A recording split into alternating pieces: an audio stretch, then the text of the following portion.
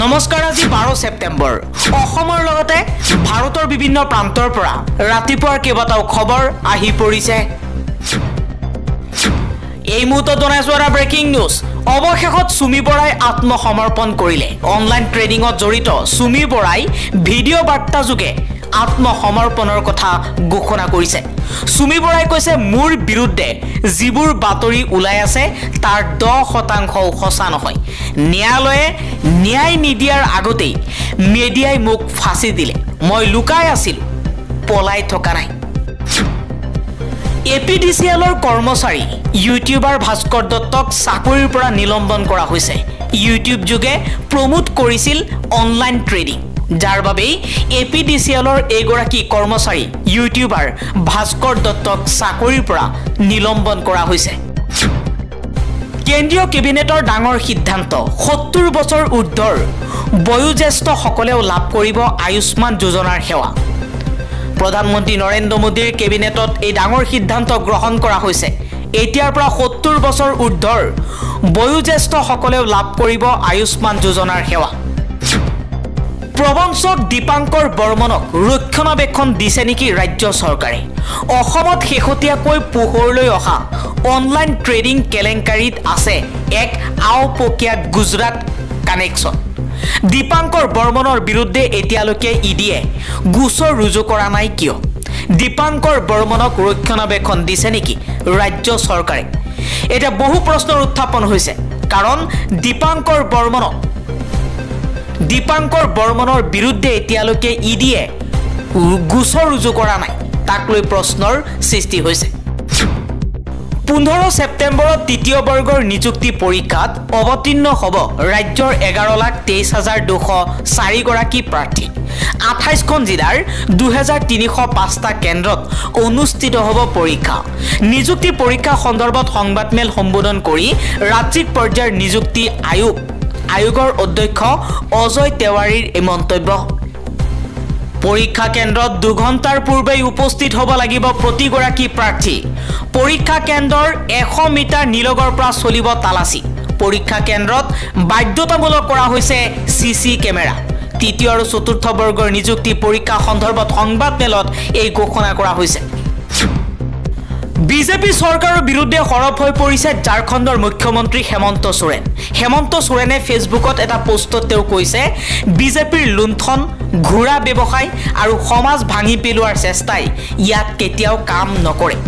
ঝাৰখণ্ডে সদায় ধনদাতা আৰু পুঁজিপতিৰ বিৰুদ্ধে যুঁজি আহিছে আৰু সদায় যুঁজি জয়ী হৈছে। আৰু আকৌ এবাৰ জয়ী হ'ব ঝাৰখণ্ড। প্ৰধানমন্ত্ৰী নৰেন্দ্ৰ মোদীৰ জনসভাত বোমা বিস্ফোৰণ ঘটোৱা চাৰিজনকৈ অভিযুক্তৰ শাস্তি কিছু শিথিল কৰি বিহিলে যাৱজ্জীৱন কাৰাদণ্ড। পূৰ্বে চাৰিও অভিযুক্তকে নিম্ন আদালতে মৃত্যুদণ্ডৰ শাস্তি প্ৰদান কৰিছিল। সংৰক্ষণ ব্যৱস্থাৰ বিৰোধী নেকি কংগ্ৰেছ? এতিয়া প্ৰশ্ন উঠিছে ৰাহুল গান্ধীক লৈ। যদিহে ক্ষমতা ঘূৰাই পায় কংগ্ৰেছে তেনেহ'লে দেশৰ পৰা প্ৰত্যাহাৰ হ'ব নেকি সংবিধান প্ৰদত্ত সংৰক্ষণৰ ব্যৱস্থা?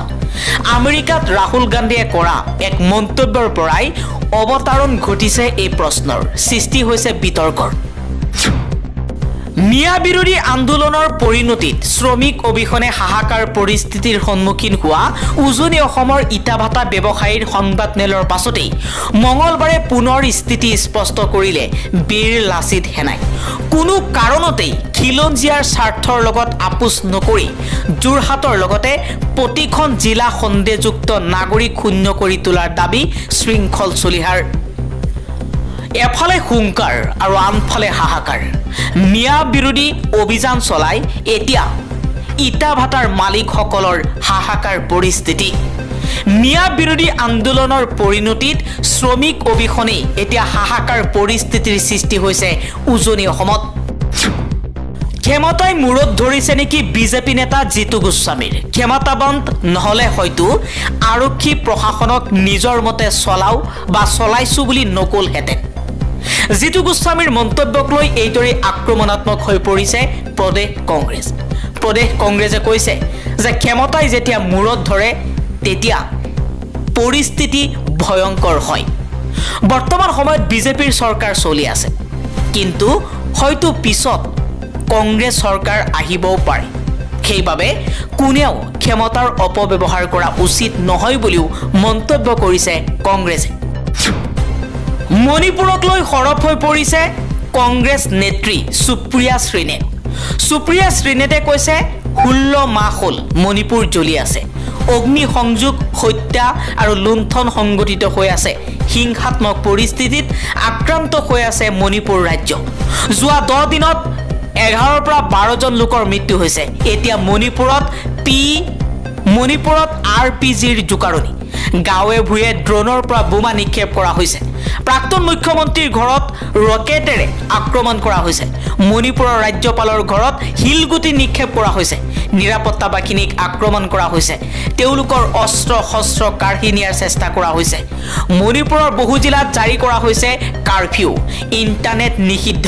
ৰাজপথত যুৱক যুৱতী মণিপুৰৰ সকলো পৰীক্ষা পিছুৱাই দিয়া হৈছে। মণিপুৰৰ প্ৰাক্তন ৰাজ্যপালগৰাকীয়ে কৈছে যে এই অৱস্থা অতি গুৰুতৰ। সেয়েহে তেওঁক অপসাৰণ কৰি হাফ টাইম ৰাজ্যপাল হিচাপে নিযুক্তি দিয়া হৈছে। কিন্তু এই দেশৰ প্ৰধানমন্ত্ৰীৰ মণিপুৰলৈ যাবলৈ সময় নাই। মণিপুৰ জ্বলিছে মণিপুৰত হত্যা হৈছে মণিপুৰত হিংসাত্মক পৰিস্থিতি। কিন্তু কাণ হাৰ নাই দেশৰ প্ৰধানমন্ত্ৰীগৰাকীৰ। বিজেপিৰ মানুহে কৈছিল যে আমি পাঁচ লাখ চাকৰি দিম। কিন্তু জম্মু কাশ্মীৰত খালী হৈ থকা এক লাখ চাকৰি পদ আজিলৈকে কিয় পূৰণ কৰা হোৱা নাই? কেৱল ইয়াই নহয় সমগ্ৰ দেশতে সমগ্ৰ ভাৰতবৰ্ষত ত্ৰিছৰ পৰা পঁয়ত্ৰিছ লাখ চাকৰি পদ খালী হৈ আছে। কিয় পূৰণ কৰা হোৱা নাই? জম্মু কাশ্মীৰৰ সকলোতে নিবনুৱা সমস্যা মুদ্ৰাস্ফীতি আৰু দুৰ্নীতি। কংগ্ৰেছ সভাপতি মল্লিকাৰ্জুন খাৰ্গেই জম্মু কাশ্মীৰৰ শ্ৰীনগৰত উপস্থিত হৈ সংবাদমেলত এই মন্তব্য কৰিছে। কেতিয়া চকু খোল খাব প্ৰধানমন্ত্ৰী মোদীৰ? আকৌ জ্বলিছে মণিপুৰ। বন্ধ হৈছে স্কুল কলেজ। স্তব্ধ হৈ পৰিছে জনজীৱন। কৰ্তন কৰা হৈছে ইণ্টাৰনেট সেৱা। ৰাজ্য ত্যাগ ৰাজ্যপালৰ। চকু কেতিয়া খোল খাব প্ৰধানমন্ত্ৰী নৰেন্দ্ৰ মোদীৰ? কি হ'ব শৰণাৰ্থী শিবিৰত বন্দী হৈ থকা দুশ এঘাৰজনকৈ বিদেশী নাগৰিকৰ? অসম চৰকাৰৰ পৰা উত্তৰ বিচাৰিলে উচ্চতম ন্যায়ালয়। বৰ্তমান গোৱালপাৰা জিলাৰ এটা শৰণাৰ্থী শিবিৰত বন্দী হৈ থকা দুশ এঘাৰজনকৈ বিদেশী নাগৰিকক বিতৰণৰ পৰিকল্পনা সন্দৰ্ভত মঙলবাৰে অসম চৰকাৰ আৰু কেন্দ্ৰীয় গৃহ মন্ত্ৰালয় উভয়ৰে পৰা উত্তৰ বিচাৰিছে দেশৰ উচ্চতম ন্যায়ালয়ে। আনুষ্ঠানিকভাৱে বিদেশী নাগৰিক হিচাপে ঘোষণা কৰা এই ব্যক্তিসকলক এতিয়াও বিতৰণ কৰা হোৱা নাই। জানিব পৰা মতে এইসকল লোকৰ ছয়ষষ্ঠিজন লোক বাংলাদেশৰ। অসম জিলা আইন সেৱা প্ৰাধিকৰণে দাখিল কৰা প্ৰতিবেদনত বিদেশী নাগৰিকক লৈ পৰিস্থিতিৰ ৰূপৰেখা দাঙি ধৰা প্ৰতিবেদনৰ প্ৰতিও উত্তৰ বিচাৰিছে আদালতে। এই গোচৰৰ শুনানি গ্ৰহণ কৰি থকা ন্যায়াধী অভয় এছ উকা আৰু অগাষ্টিন জৰ্জ মাচিসক লৈ এখন বিচাৰপীঠে অসমৰ ডিটেনশ্যন কেম্পৰ অৱস্থা সন্দৰ্ভত এখন আবেদন বিবেচনা কৰি আছিল। শুনানিৰ সময়ত ডিটেনশ্যন কেম্পসমূহৰ অৱস্থাক দুখজনক বুলি অভিহিত কৰা হৈছিল য'ত অপৰ্যাপ্ত পানী যোগান বেয়া অনাময় আদি বিষয়সমূহৰ ওপৰত আলোকপাত কৰা হৈছিল। এই পৰ্যবেক্ষণসমূহ অসম আইন সেৱা প্ৰাধিকৰণৰ বৃহৎ প্ৰতিবেদনৰ অংশ আছিল। চৈধ্য আগষ্টত দাখিল কৰা শপতনামাত গৃহ পৰিক্ৰমা মন্ত্ৰালয়ে উল্লেখ কৰিছে যে বিদেশী আইনৰ তিনি নম্বৰ ধাৰা অনুসৰি বিদেশী নাগৰিকক বিতৰণৰ কৰ্তৃত্ব কেন্দ্ৰীয় চৰকাৰৰ হাতত আছে। অৱশ্যে এই বিতৰণসমূহ কাৰ্যকৰী কৰাত ৰাজ্য চৰকাৰেও গুৰুত্বপূৰ্ণ ভূমিকা পালন কৰে। শিৱসাগৰত আকৌ অনা অসমীয়াৰ আক্ৰমণৰ বলি থলুৱা পুনৰ উত্তপ্ত পৰিস্থিতিৰ সৃষ্টি হৈছে। বাবুলাল ৰাঠি আৰু ৰোহিত ৰাঠি নামৰ বহিৰাগত পাইকাৰী সামগ্ৰী বিক্ৰী প্ৰতিষ্ঠানৰ দুই স্বত্বাধিকাৰীৰ হাতত। পুনৰবাৰ এজন অসমীয়া যুৱক হাৰাশাস্তিৰ বলি হ'বলগীয়া হৈছে। এই ঘটনাই শিৱসাগৰত নিশা তুমুল উত্তেজনাৰ সৃষ্টি কৰিছে। ই ৰিক্সাৰ পৰা সামগ্ৰী নমোৱাক লৈ হোৱা বিতৰ্কৰ পিছতেই দুই স্বত্বাধিকাৰীয়ে কলীয়া বৰা নামৰ যুৱকজনক দলবদ্ধভাৱে আক্ৰমণ কৰে। এই ঘটনাৰ পাছতেই সমগ্ৰ চহৰখনতেই সৃষ্টি হয় এক উত্তেজনাময় পৰিৱেশৰ। ঘটনাৰ খবৰ পায়েই সহস্ৰাধিক উত্তেজিত ৰাইজে মাৰোৱাৰী পট্টিৰ উক্ত আক্ৰমণকাৰী ব্যৱসায়ীৰ প্ৰতিষ্ঠান ঘেৰাও কৰি পৰিৱেশ উত্তপ্ত কৰি তোলে। ই ৰিক্সাৰ ভাড়া কেন্দ্ৰ কৰি হোৱা তৰ্কাতৰ্কিৰ পিছতেই বাবুলাল ৰাথী আৰু তেওঁৰ পুত্ৰ ৰোহিত ৰাথীয়ে থলুৱা যুৱকজনক ৰদেৰে আক্ৰমণ কৰে। মুখত ঘোচা মৰাৰ সময়ত দুগৰাকী বিহাৰী সম্প্ৰদায়ৰ ব্যক্তিয়ে কলীয়া বৰাক দুই হাত ধৰি ৰাখিছিল। পাছত ঘটনাস্থলীৰ পৰা প্ৰায় ডেৰশ মিটাৰ নিলগতেই থকা পৰিয়ালৰ লোকসকল উপস্থিত হৈ বনিয়াৰ গুণ্ডা বাহিনীৰ হাতৰ পৰা যুৱকজনক উদ্ধাৰ কৰিছিল। দুই শিশু নিৰ্যাতনকাৰী বাসত্তৰ বছৰীয়া সাধুক সশ্ৰম কাৰাদণ্ড আৰু দহ হাজাৰ টকাৰ জৰিমনা বিহিছে আদালতে। ধেমাজি জিলা সত্ৰ ন্যায়াধীশ কৌশিক হাজৰিকাৰ আদালতে বুধবাৰে এক ৰায়দান যোগে এজন বাসত্তৰ বছৰীয়া সাধুক সশ্ৰম কাৰাদণ্ড বিহিছে। ৰূপেশ্বৰ গগৈ নামৰ শিশু নিৰ্যাতনকাৰীজনক শিশু নিৰ্যাতন পক্সো আইনৰ অধীনত বিছ বছৰ সশ্ৰম কাৰাদণ্ডী কাৰাদণ্ড দিয়াৰ লগতে নগদ দহ হাজাৰ টকাৰ জৰিমনা বিহিছে। উল্লেখ্য যে দুহেজাৰ ঊনৈছ চনৰ ছেপ্টেম্বৰ মাহত চিলাপথাৰত এখন ঘৰত কোনো নথকা সুযোগ লৈ সাত বছৰীয়া আৰু তেৰ বছৰীয়া দুই শিশুক নিৰ্যাতন কৰিছিল। ভিক্ষাৰী ৰূপ লৈ যোৱা লোকজনে ঘটনা সংঘটিত কৰিয়েই পলায়ন কৰিছিল।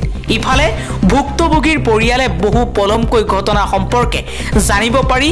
চিলাপথাৰ আৰক্ষী থানাত লখিমপুৰৰ লালুকৰ ৰূপেশ্বৰ গগৈৰ বিৰুদ্ধে এজাহাৰ দাখিল কৰিছিল। চিলাপথাৰ আৰক্ষীয়ে তিনিশ চৌষষ্ঠি অব্লিক দুহেজাৰ ঊনৈছ নম্বৰত এটা গোচৰ ৰুজু কৰি তদন্ত চলাই লম্পট সাধু গগৈক গ্ৰেপ্তাৰ কৰি জেল হাজতলৈ প্ৰেৰণ কৰিছিল। ভাৰতীয় দণ্ডবিধি পক্সো আইনৰ চাৰি অব্লিক আঠ ধাৰা শিশু নিৰ্যাতনৰ বিশেষ আইনৰ অধীনত দুই অব্লিক দুহেজাৰ বিছ নম্বৰত ধেমাজি জিলা সত্ৰ ন্যায়াধীশ আদালতে বিগত পাঁচ বছৰে চলা গোচৰৰ অন্তত দোষী সাব্যস্ত কৰি ৰূপেশ্বৰ গগৈক বিছ বছৰ সশ্ৰম কাৰাদণ্ডৰ লগতে নগদ দহ হাজাৰ টকাৰ জৰিমনা বিহিছে।